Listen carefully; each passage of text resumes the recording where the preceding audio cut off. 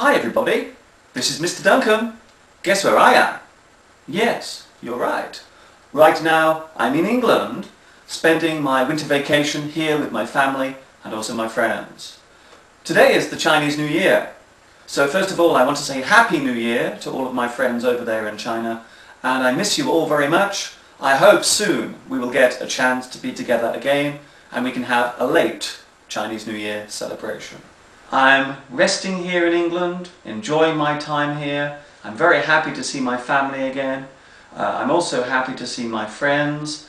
Uh, I will be making some videos here whilst I'm staying in England, uh, so I hope you will enjoy some of the videos that I'll be making as well uh, during my time back here in the UK. So keep watching, and once again, to all my friends in China, 感谢 Fat and I wish you a happy new pig year. This is Mr. Duncan in England saying goodbye for now.